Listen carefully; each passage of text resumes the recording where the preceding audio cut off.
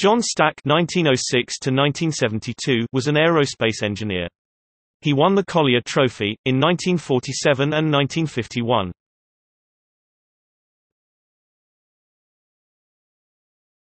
Topic: Life.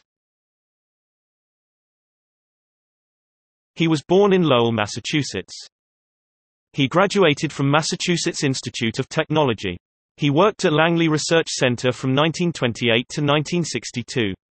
He worked for Republic Aircraft Corporation, from 1962 to 1971.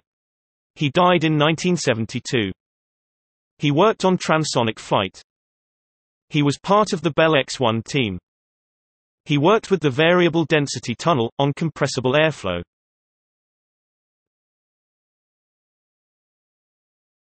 Topic. Works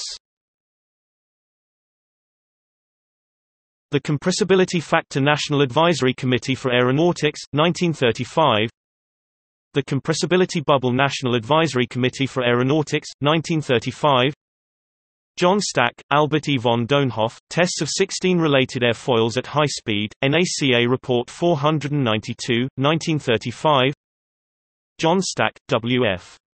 Lindsey, tests of N85, N86, and N87 airfoil sections in the 11-inch high-speed wind tunnel, National Advisory Committee for Aeronautics, 1938.